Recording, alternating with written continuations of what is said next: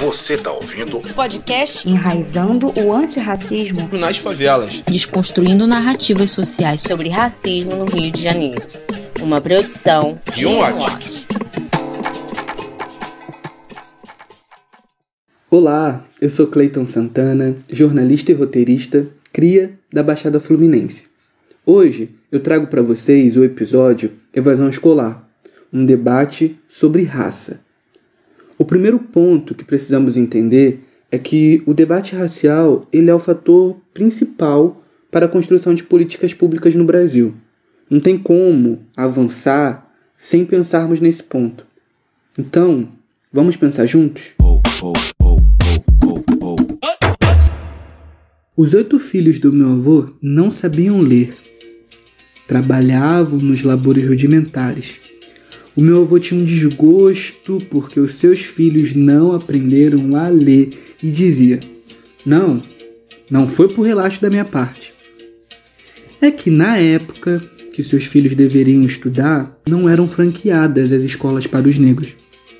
Quando vocês entrarem nas escolas, estudem com devoção e se esforcem para aprender.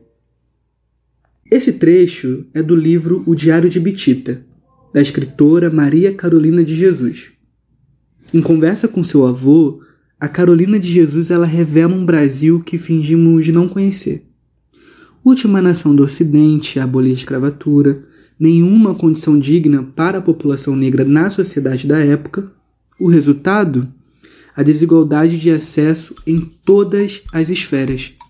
Bom, meu nome é Denise, mais conhecida como Denise Crioula mulher negra de periferia, professora da rede pública estadual do estado do Rio de Janeiro. A minha batida né, na educação vem de muito cedo, aprendi ali com quatro anos de idade e entrei no segundo ano, né, segunda série na minha época, do ensino fundamental. Estudei direto até meus 16 anos, quando meus pais se separaram, eu precisei trabalhar, né? Então, trabalhar, estudar é muito difícil, é muito árduo.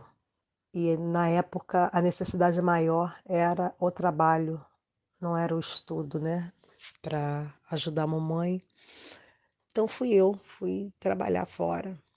Com 19 anos eu casei Tive dois filhos. Assim que eu me separei, eu voltei a estudar. Voltei a estudar com 31 anos. Fiz meu ensino médio, os três anos, e fui direto para uma faculdade. Uh, optei pelo curso de Ciências Sociais. Queria entender como funciona essa máquina chamada comunidade, sociedade. No início do, da faculdade, eu comecei né, nesse engajamento de trabalho social, coisa que eu já fazia assim por osmose e me não entendia que já era um trabalho social. Me juntei com algumas pessoas e nós criamos uma associação tá, que hoje tem 13 anos de certidão de nascimento, assim eu digo, que é a Associação Conquista Social. O relato que você acabou de ouvir é da professora Denise, que há mais de 10 anos desenvolve um trabalho de assistência psicopedagógica através da ONG Conquista Social. O objetivo da organização é diminuir a desigualdade por meio da educação. Em 2019, foram 10 milhões de jovens brasileiros que deixaram de frequentar a escola sem ter completado a educação básica. Desses, 71% são negros. E aí, trabalhar é sinônimo de sobreviver, ainda mais no Brasil da pandemia, onde vemos essa necessidade de se multiplicar. São muitas as razões que levam um jovem a estar fora da escola. De acordo com o estudo Enfrentamento da Cultura do Fracasso Escolar, realizado pelo Unicef, aproximadamente 5 milhões e meio de crianças e adolescentes não tiveram acesso à educação em 2020. Essa realidade ela se reflete nas favelas, com mais da metade das crianças e jovens sem estudar. Os dados são de uma pesquisa realizada pelo Instituto Data Favela, uma parceria entre o Instituto de Pesquisa Locomotiva e a Central Única das Favelas, a CUFA. O levantamento indica que há uma idade crítica para a evasão escolar no Brasil. O pico ocorre entre os 14 e 18 anos de idade. Mas Clayton, o que seria evadir? Primeiro, a gente precisa entender a diferença entre os conceitos de abandono e evasão escolar. Quando o estudante deixa de frequentar as aulas durante o ano letivo, caracteriza o abandono escolar. Já a situação em que o estudante, reprovado ou aprovado, ele não efetua a matrícula para dar continuidade aos estudos no ano seguinte, é entendida como evasão escolar. A evasão deve ser entendida como um fenômeno social, fruto de um somatório complexo de dificuldades sociais estruturais. O racismo estrutural dita muitas disparidades existentes em nossa sociedade e impacta os indicadores educacionais e socioeconômicos.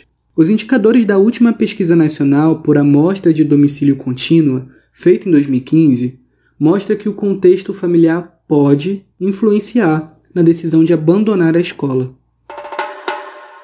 No Rio de Janeiro, por exemplo, a pesquisa mostra que quando o contexto familiar do estudante é de uma família chefiada por um homem branco, com pelo menos a escolaridade média completa, renda alta e residente em área urbana, a chance desse aluno frequentar normalmente a escola é de aproximadamente 90%. Quando se trata de famílias chefiadas por mulheres negras analfabetas e da área rural, o índice máximo é de 50%. Falar dessa realidade é dizer que esses jovens eles precisam lidar com um choque socioeconômico o tempo inteiro. Você já deixou de ir para aula por não ter o dinheiro da condição? ou teve que ir só com uma única refeição para passar o dia inteiro. É sobre isso que estamos falando. O professor Robson Abreu é membro do Conselho Escola Comunidade, um conselho consultivo da Prefeitura do Rio que tem como finalidade promover uma constante e efetiva integração entre escola, família e comunidade. O professor explica quais movimentos os gestores escolares a partir das estruturas das escolas que atuam, podem fazer para agir preventivamente na diminuição dos níveis de evasão e abandono escolar. Na escola em que eu atuo, eu faço parte de um segmento que é o SEC, que é o Conselho Escola Comunidade, do qual eu sou representante dos professores da minha escola. Montei juntamente com a direção da escola um projeto que visa que nós minimizemos né, essa evasão escolar, esse abandono, né, que é uma coisa muito latente, infelizmente, muito comum dentro da rede municipal do Rio de Janeiro. E, e uma das discussões que a gente sempre teve é em relação ao vínculo com a família.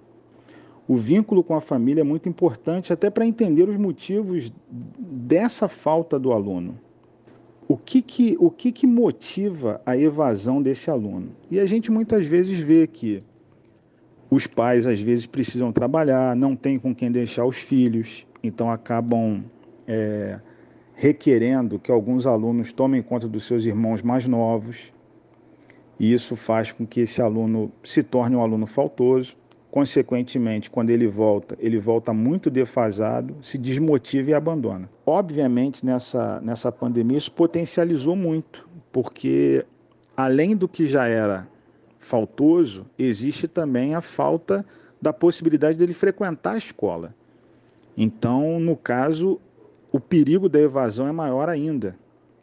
Então, é, tem sido feito também movimentos para receber esses alunos na escola, para trabalhar com eles o passo a passo, para eles terem acesso à internet. No, na falta de acesso à internet, eles terem acesso a material impresso, para que eles não fiquem alijados desse processo. Estão sendo sempre contactados pelos professores. Então a gente procura fazer essa prevenção, mas com certeza, em face à pandemia, dificultou muito esse trabalho de prevenção de evasão e, e abandono. Nos mais variados dados de pesquisa, é nítido que o debate racial é um ponto primordial desse tema. E é importante entender como ele tem sido trabalhado nas escolas e nas políticas públicas. O professor Robson, ele nos conta também como tem sido o papel de discutir esse assunto com os estudantes e com as famílias. Se liga só. O debate racial, como prática pedagógica, ainda é algo bastante longe do ideal e longe do necessário. Ele acaba sendo é, bastante limitado a ações individuais por parte de alguns professores cujo engajamento nesses temas, nessas questões é maior, e dependendo da unidade escolar, é abraçado pela coletividade. Mas não existe que eu tenha conhecimento de uma, de uma prática, uma política de prática pedagógica que abranja realmente a relevância e o buraco que fica no trato desse tema, de, de tamanha relevância.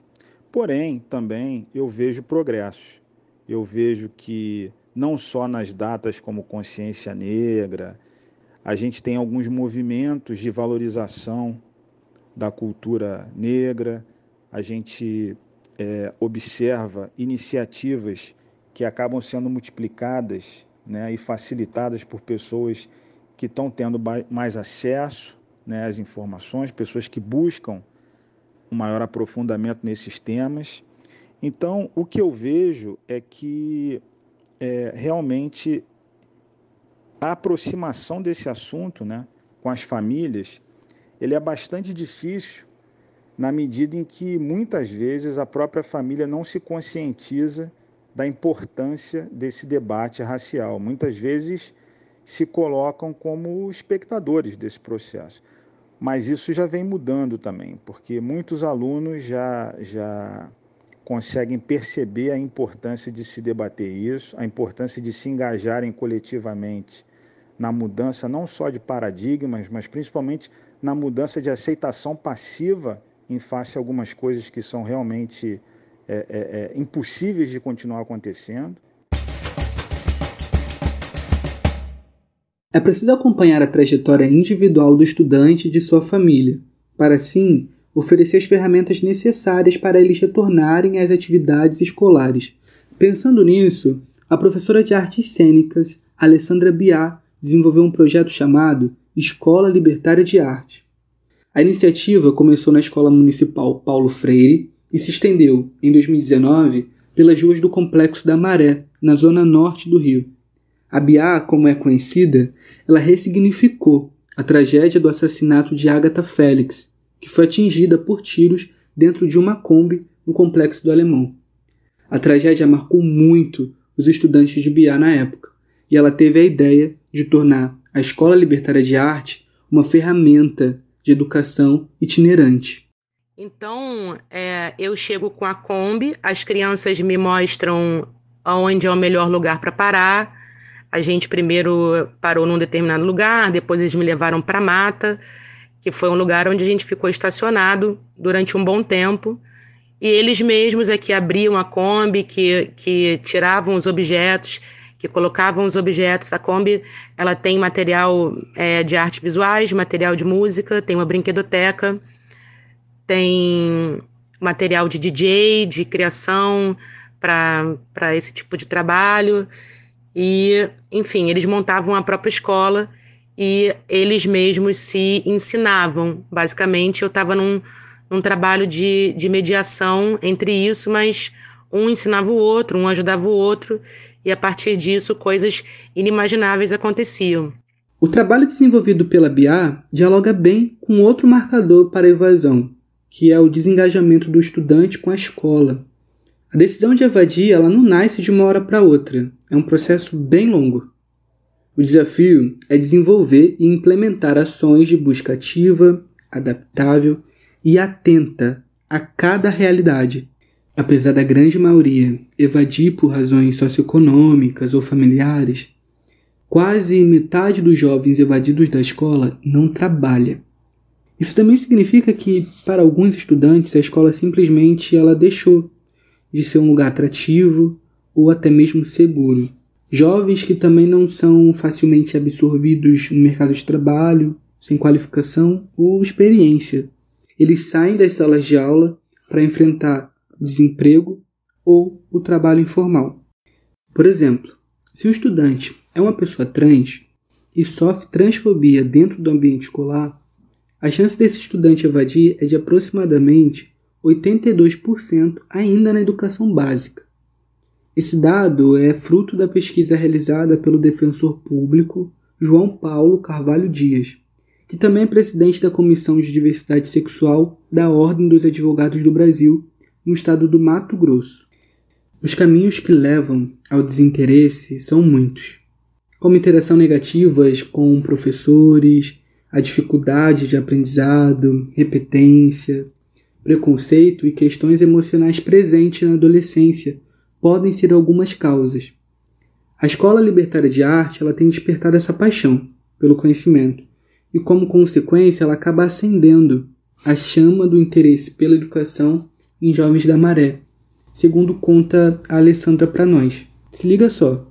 A ela sempre teve essa relação com a evasão escolar por ser itinerante, né, por ser de rua, por chegar perto, por falar a linguagem da liberdade. É isso tudo ajuda muito as pessoas a, a se aproximarem da ela de forma natural. Né? Não é uma obrigação. Você, a, a ela é uma escola de final de semana. Todo mundo quer estudar no final de semana, eu, eu, eu costumo brincar, né? Então, é, sem querer, a gente acaba reencaminhando as pessoas para o lugar de saber que, que muitas vezes elas já não, nem acreditam mais, ou acham que é chato, ou, ou que não é para elas. Então, aquela criança, adolescente, jovem ou adulto, porque a ela abrange todas as idades, eles acabam se aproximando e mostrando que eles sabem alguma coisa.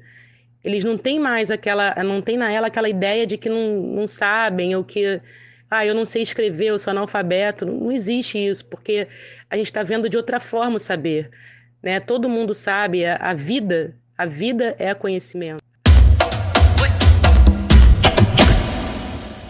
Ainda há muito trabalho pela frente. Desenvolver uma escuta ativa e atenta para as necessidades, em especial as de infraestrutura de muitas escolas públicas, é o primeiro e grande passo. Além disso, é preciso entender que a escola é uma comunidade que dialoga e acolhe as famílias dos estudantes e que deve desenvolver ações que tenham como foco o debate de questões raciais com familiares e alunos. Em 2021, no país com mais de 500 mil mortos, o coronavírus ele tira os jovens de dentro do ambiente físico da escola Frente à necropolítica, à inoperância com relação à imunização da população e à sabotagem do governo Bolsonaro no combate à pandemia. Ainda não se pode garantir o retorno dos alunos às salas de aula de maneira efetiva. É importante lembrar que a educação de qualidade é direito. É também um compromisso da Agenda Mundial dos Objetivos de Desenvolvimento Sustentável da Organização das Nações Unidas que estabelece metas a serem cumpridas até o ano de 2030. A educação básica é a nossa maior arma. Ela é o ponto central para o enfrentamento das desigualdades no Rio e em todo o Brasil.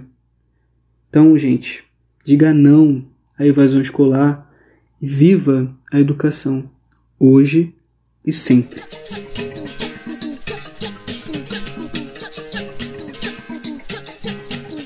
Esse episódio foi roteirizado, narrado e editado por mim, Clayton Santana. A ilustração de capa foi feita por Davi Amém. A edição de conteúdo por Júlio Santos Filho. A supervisão de produção de podcast por Jaqueline Suarez. A articulação do projeto Enraizando o Antirracismo nas Favelas é de Tatiana Lima. A música tema do podcast e sons complementares são do Bis Marques. Para mais coberturas, acesse o site rionwatch.org.br. Você vai encontrar textos, desenhos, vídeos e áudios que juntos dão uma visão detalhada, multidimensional e interseccional sobre o racismo e o antirracismo no Rio de Janeiro e em suas favelas. E claro, siga também as nossas redes sociais. Os links estão na descrição do episódio. Valeu pela escuta atenta e até a próxima!